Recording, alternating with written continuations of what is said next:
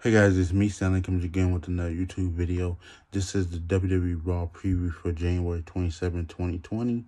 Edge returns to Raw following a probable Rumble comeback. Following dramatic in-ring return during the 2020 Men's Royal Rumble match, WWE Hall of Famer Edge is returning to Monday Night Raw. The radio superstar who retired due to injury in 2011 has been the subject of near constant rumors ever since he leveled Elias with a spear at SummerSlam 2019.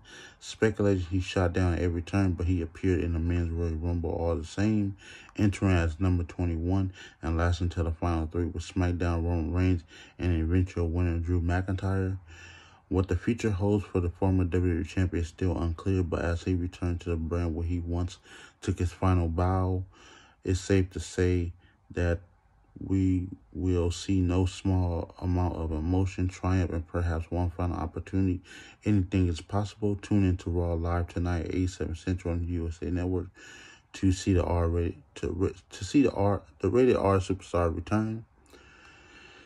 Seth Rollins and Buddy Murphy to defend the Raw Tag Team titles against Kevin Owens and Samoa Joe.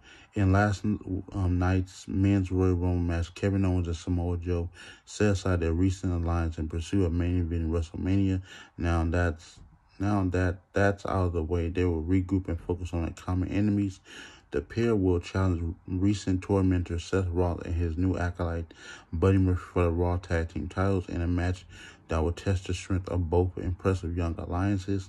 For Rollins and Murphy, it's a test to see if they can build up the improbable win over the Viking Raiders that made them champions.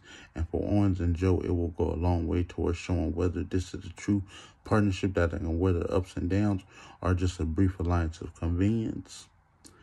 Rusev and Bobby Lashley has been waging all the battles in Raw.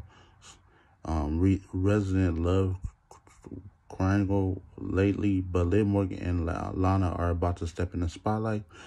Um, in a match where both the Bulgarian Brute and the Almighty have will be banned from ringside, Liv and Lana will square off in a singles action on Raw, bringing their similar rival within a rivalry to a boil. Their mat the match will mark Liv's first single competition in six months, as well as opportunity for the pair to sell the score on their own unfinished business, given the still elaborated revelation from Lana's wedding to Lashley, it's clear that these two have a lot to talk about or most likely fight about before all is said and done.